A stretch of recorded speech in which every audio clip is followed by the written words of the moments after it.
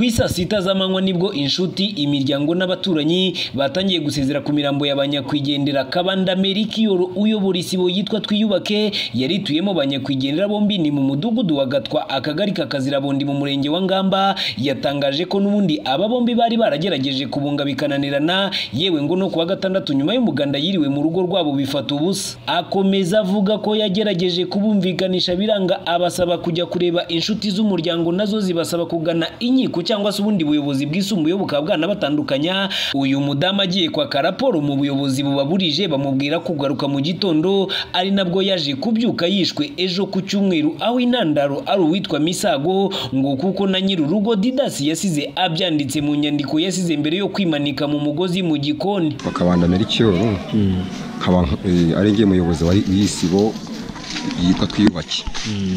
Ubwo hari ku itariki ya makumyabiri na karindwi yego. Ubwo nari mvuye mu muganda umudamu witwa Brigitte wo muri runo rugo eh, arambwira ati "Mm, ngwino unyumvire ibibazo biri hano muri runo rugo. Ubwo hari nka sangahe hari nka saa sita n'igice. Yego. Ubwo mpageze bambwira ibibazo bari bafite.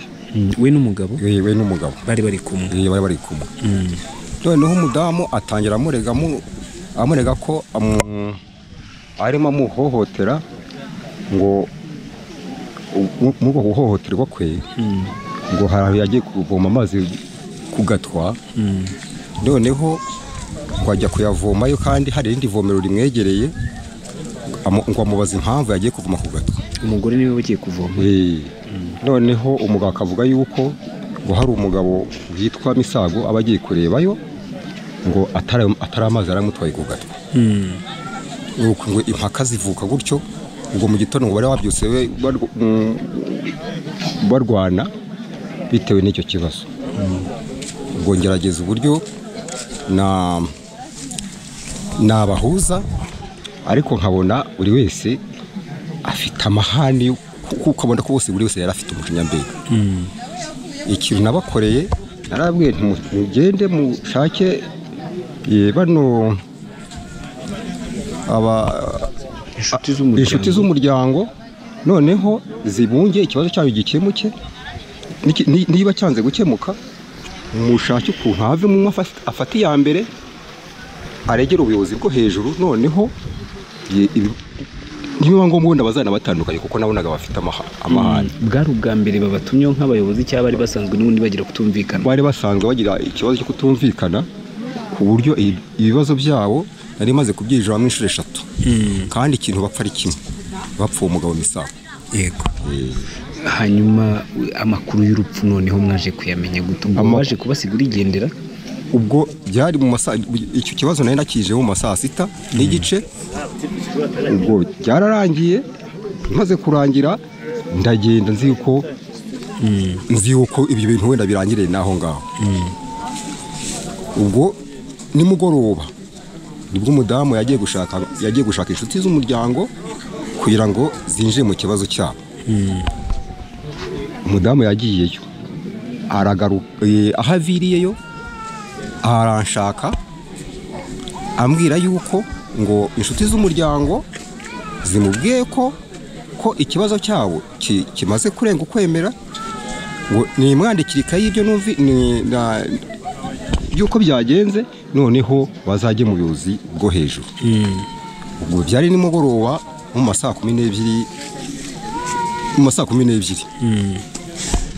Nuko nyuma y'ibyo kuri namuhaye gahunda ngo aze mu gitondo bwari bumaze kwira.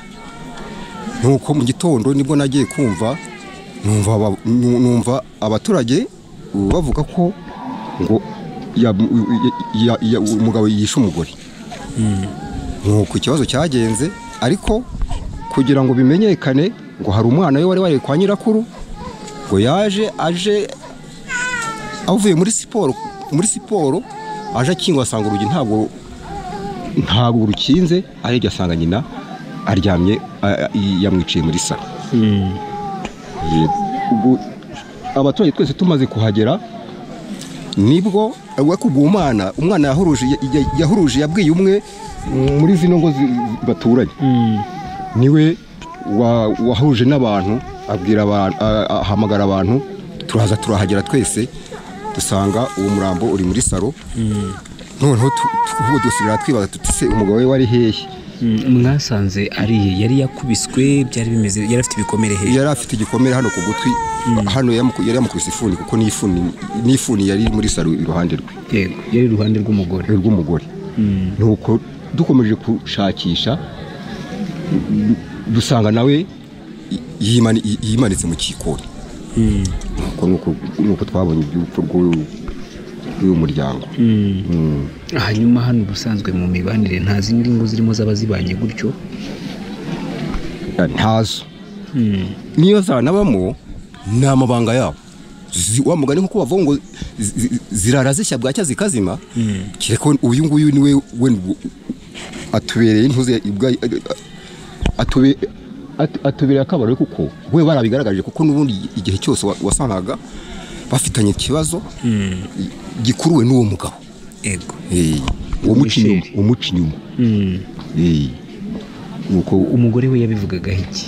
Umugore we yaravugaga ngo ni ni ubushuti ni ubushuti busanzwe bifitanye ntabwo ntabwo izo ngo ntabyo ntabyo ntabyo bakora. Ntabyo bakorana haba hari ubwo mwigeze kubatumira na misheri bose mukabahuza Ah, ah, ntabwo tugize kubatumira kuko ngo uwo misa- uwo misago mm, w'umusekirite kuri sako we umudamu wahanga ngo ni we wagendaga akamusangayo usibye ko umugabo yavugaga ko ngo yigeze kumusanga mu rugo iwe bwa mbere. Eh, ahangaha ari nabwo yavugaga ngo ngo kuva ubu bisago yanyinjira mu rugo ntabwo nongeye kugira amahoro wanteye igikomere ntazashira ikitazashira. Yego. Iyi na yo magambo umugabo yavugaga.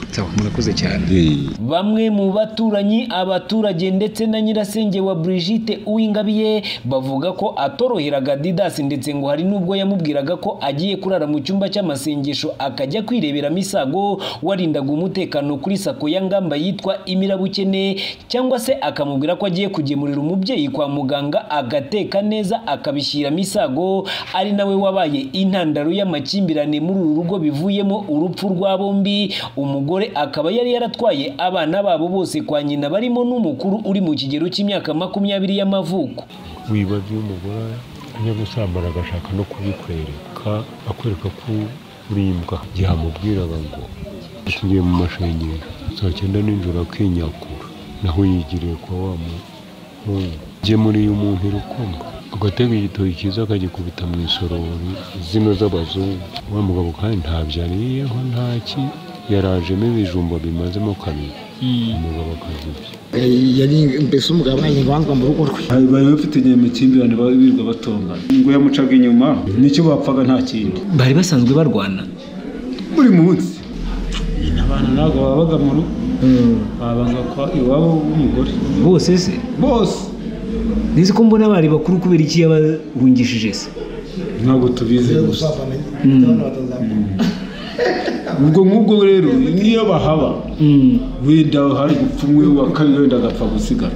Mwe mwabyakiriye muti no nkuru mwayumvise mute nk'abantu bakuru? Rwose bw'iyo nkuru twayumvise. Twumvise ko umukobwa wacu.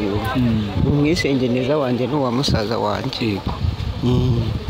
Uwa musaza wanjye gakumba yaripfiriye none rero uko twabyumvise twabyumvise ko umukobwa ari we wakoze amakosa.